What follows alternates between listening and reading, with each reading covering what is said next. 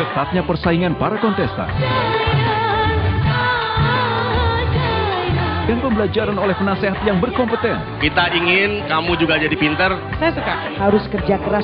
Saat-saat mendebarkan penjemputan. Siapa yang akan terjemput malam hari ini? Ikuti aksi mereka. Nonton lagi KDI 2014. Kamis sampai Sabtu jam 6 sore di MNC TV.